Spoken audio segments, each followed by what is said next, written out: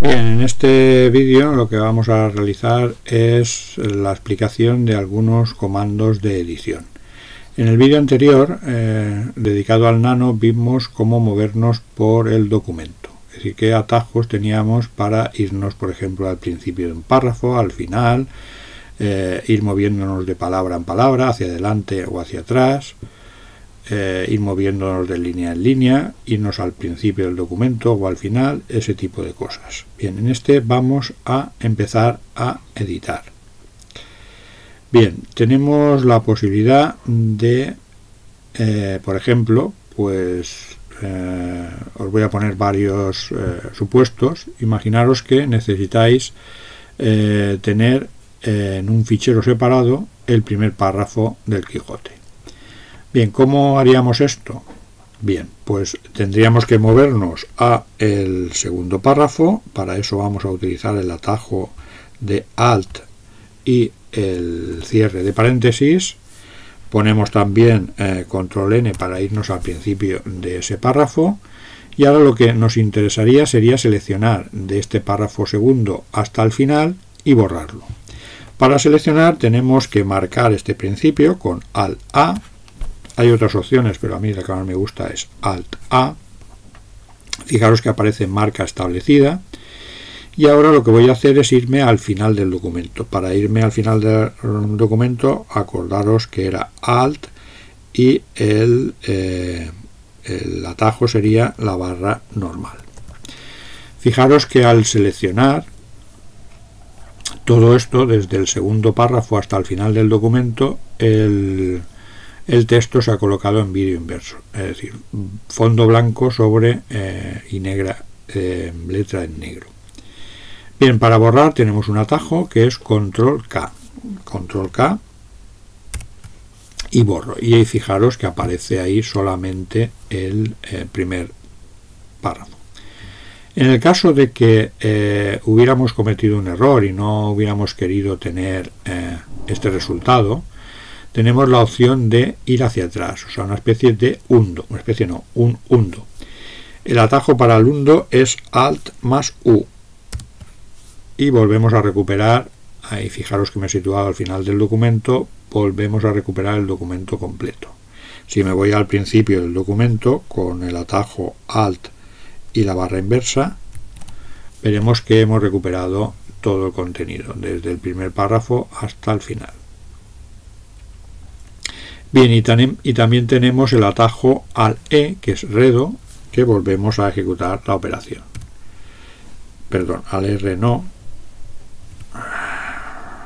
No quería hacer esto. Vamos a irnos al AE. Es parecido, pero no. Y ahí eh, volvemos a mm, eliminar desde el párrafo segundo hasta el final del documento. Y ahora, esto he querido eh, o he querido salvarlo o lo quiero salvar en un fichero eh, diferente. ¿Qué es lo que tengo que hacer? Pues tengo que irme a eh, control O para guardar y en lugar de poner Quijote capítulo 1 pues voy a poner párrafo 1. Aquí nos advierte que si queremos guardar el fichero con un nombre diferente, le decimos que sí y ya tendríamos el, fichero grabado como Quijote párrafo 1. Bien, voy a, ir con Alt U a recuperar lo anterior, me voy a ir al principio del documento con la barra inversa y ahora voy a hacer lo contrario, es decir, voy a eliminar el párrafo 1 y voy a quedarme con los párrafos eh, segundos y siguientes. Bien, pues voy a a seleccionar o a marcar. Eh, os he dicho, os he comentado que para marcar texto había eh, varias opciones y a mí me gusta eh, utilizar el al A, pero también tenéis la posibilidad de control y el acento circunflejo. A ver si me he equivocado.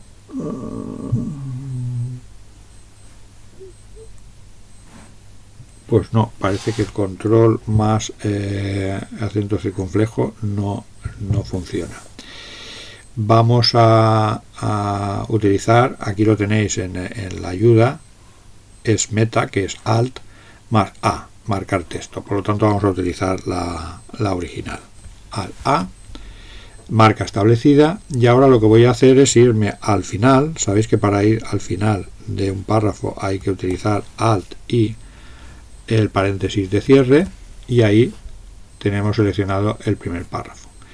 Ya sabemos que para cortarlo hay que eh, utilizar control K.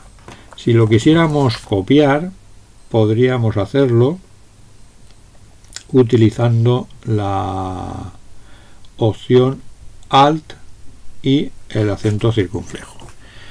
Pero yo lo quiero cortar para quedarme con el resto, por lo tanto pongo control K y ya lo tendría cortado.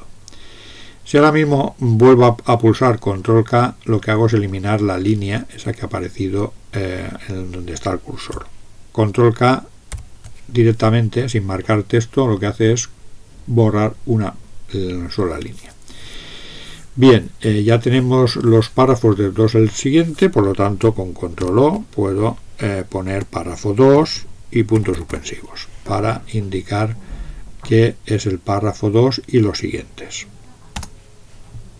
Dice que también si lo quiero guardar con un nombre diferente, digo que sí. Vale, y ahora me voy a eh, control X y salgo del nano.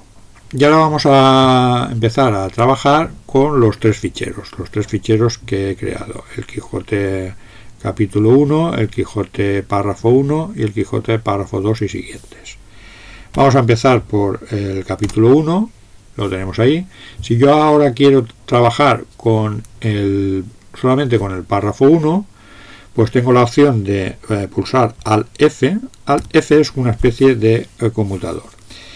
Y eh, el F lo que hace es que en lugar de leer los ficheros e insertarlos en el documento en el que estoy trabajando, lo que va a hacer es insertarlos en un buffer diferente. Es decir, lo vamos a editar aparte. Eh, vamos a poner eh, control R para leer un fichero o insertar un fichero en el nuevo buffer. Fijaros que entre corchetes aparece el directorio actual de trabajo, como ahí es donde tenemos los ficheros, no hay ningún problema. Y ponemos el nombre directamente del fichero, que sería Quijote. Aquí funcionan también eh, las tabulaciones, párrafo y 1. Fijaros que ha aparecido aquí arriba eh, indicando que ya tenemos dos buffers activos. Tenemos el buffer de Quijote párrafo 1 y para movernos entre buffers tenemos el atajo de al menor que volvemos a capítulo 1 y al mayor que en el que volvemos a párrafo 1 o como es cíclico pulsando directamente varias veces menor que pues vamos moviéndonos de uno a otro Vamos a irnos a párrafo 1 y ahora vamos a insertar otro, el siguiente. Eh, vamos a poner eh, lo mismo que antes, control R para insertar un fichero, pero en un buffer nuevo. Y vamos a poner eh, el nombre de Quijote.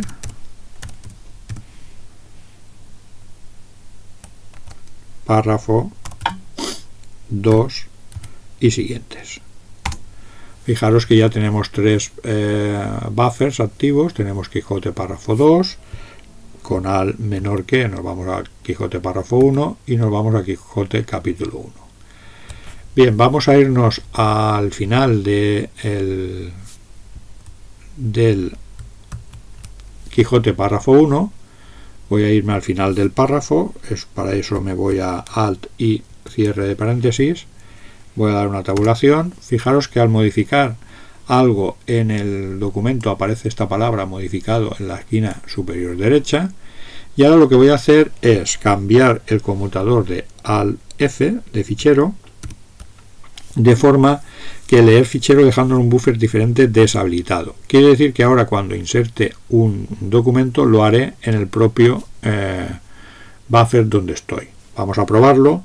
Si yo aquí vuelvo a poner control R y pongo eh, Quijote eh, párrafo 2 y siguientes bueno, vamos a poner párrafo 1 que se va a ver mejor. Párrafo 1 pero, eh, párrafo no párrafo. Vamos a repetir la operación porque lo hemos hecho mal. Eh, control R. Vamos a poner Quijote. A tabulaciones va mucho mejor porque nos equivocamos menos. Párrafo 1 y fijaros que aparece el párrafo 1 repetido dos veces es decir que no se ha insertado en un nuevo buffer sino que se ha insertado en el documento en el que estamos trabajando esa es la diferencia eh, con Aleph habilitar o no eh, la inserción en nuevos buffers o en el propio documento. Algunas veces interesa un sistema y otras veces otra. Vamos a poner al U para eh, deshacer esa operación. Como veis está modificado el documento. Si queremos salvarlo tenemos que poner control O y simplemente eh, salvarlo y aparece desaparece esa palabra de modificado. Y ahora vamos a, para finalizar, vamos a realizar un eh, chequeo de la ortografía. Vamos a situarnos al principio del párrafo, eso ya sabéis que es alt y eh, el paréntesis de apertura. Aquí estamos al principio del párrafo. Y ahora la opción, como veis aquí, eh, de ortografía es control T para que podáis eh, realizar la ortografía correctamente os voy a indicar qué operaciones tenemos que realizar voy a mm, quitar que aparezcan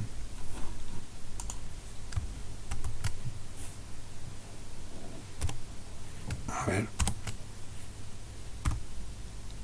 Ahí ya no aparecen. Para que no os despiste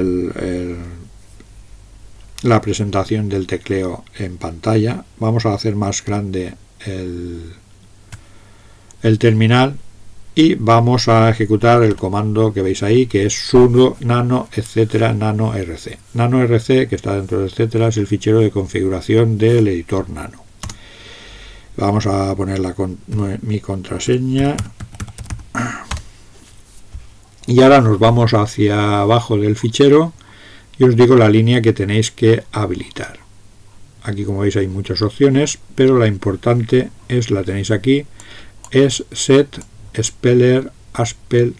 Es decir este es el comando aspel "-x "-c que vamos a utilizar eh, para la eh, verificación de la ortografía evidentemente además de quitarle el símbolo de almohadilla para descomentar esta línea tenéis que aseguraros vamos a salir de aquí tenéis que aseguraros que el fichero eh, Aspel en su versión ES si queremos poder eh, repasar o comprobar la ortografía en castellano tiene que estar instalado para eso vamos a poner el comando sudo aptitude eh, show aspel.es y vamos a ver si está o no está instalado. Como veis en estado sí que está instalado. Vale y qué proporciona este paquete pues proporciona el paquete de eh, diccionario español para el aspel GNU.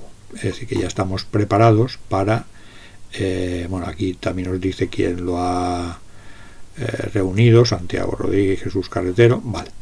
Tenemos ya eh, o estamos preparados para realizar la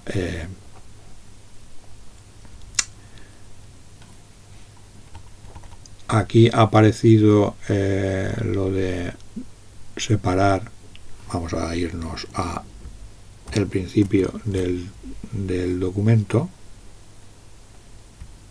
sería al principio de esto. Aquí ha aparecido una cosa que no me gusta. Vamos a ver al U. No sé por qué el Quijote párrafo 1 ha aparecido aquí con una info del screen key. Seguramente porque lo he pulsado aquí y no en el terminal. Vamos a borrar esto Bueno, en realidad podemos hacer una cosa, que es, eh, vamos a borrarlo todo y así practicamos. Vamos a marcar esto, nos vamos a ir a eh, el final, que sería al y cierre de paréntesis, me lo voy a cargar y lo que voy a hacer es recuperar el párrafo 1.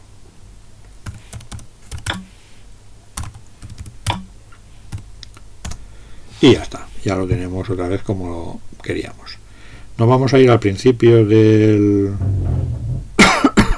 del párrafo y vamos a realizar una comprobación de ortografía. Para ello pulsamos control T. Vamos a, si fijaros, si yo ahora mm, pulsara dos veces control dentro de aquí me lo marcaría, voy a hacerlo aquí y ahora fijaros que ya aparece. Y así no tenemos el problema de que ¡y, sí que aparece. Pues esto no me gusta. Eh, porque voy a tener que repetir. Voy a tener que repetir la operación que he hecho antes. Lo del info del screen key aparece aquí que no debería aparecer aquí pero bueno eh, bien ¿qué vamos a hacer? vamos a irnos a alt mayúsculas eh, principio de la línea al mayúsculas final de la línea bueno al mayúsculas principio de la línea y marcamos con al a vamos a irnos al final no lo vamos a cargar y vamos a repetir control a y vamos a poner Quijote. Eh, párrafo 1 vale. Vamos aquí al principio del párrafo y vamos a ahora sí a comprobar ortografía. Pues vamos a control T. Y como veis habrá palabras del castellano antiguo que no existen en el diccionario actual. De ella no existe Aquí nos da algunas opciones, no veo ninguna que me guste, por lo tanto vamos a ignorar ese error para dejar el texto intacto. Si le damos ahí de ignorar, ignorará esta ocurrencia, pero si aparece el de ella en alguna más, pues nos lo va a indicar, por lo tanto vamos a ignorar todas poniendo i mayúsculas. Belluri, que es una especie de paño, tampoco está y no, la, y no veo paño para hacer el sustituto. Así que vamos también a hacer lo mismo ignorar. De este tampoco. Y eh, Quijana que es un nombre propio tampoco. Del acentuado tampoco. Es decir que serán eh, palabras que se utilizaban en el castellano antiguo en la época del Quijote pero que en la actualidad no existen Vale, vamos a poner X de... Bueno, vamos a continuar y para que veáis que cuando llega al final, pues aparece este mensaje que es revisión de ortografía finalizada. Bien, esto puede ser interesante en textos que queramos comprobar que no existen faltas de ortografía. Bien, y yo creo que con esto ya vamos a dar por finalizado este vídeo y eh, veremos algunas cosillas más en el siguiente. Hasta luego.